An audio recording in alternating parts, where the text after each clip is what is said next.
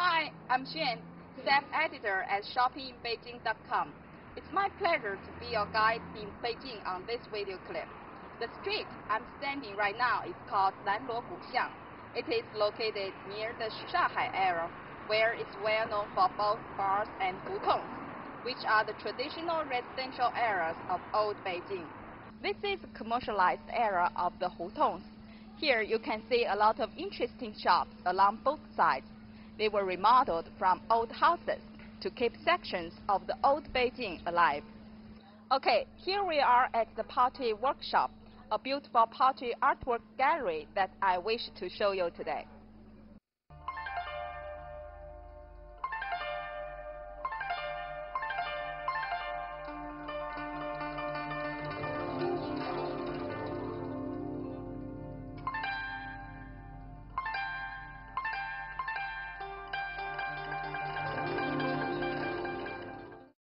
The Pottery Workshop was founded by Carolyn Cheng an independent studio artist born in the UK.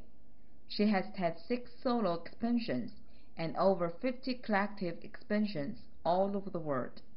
Since its opening, the Pottery Workshop has provided a venue for domestic and overseas artists to present their works to the public. Many creative young pottery artists exhibit their artworks here.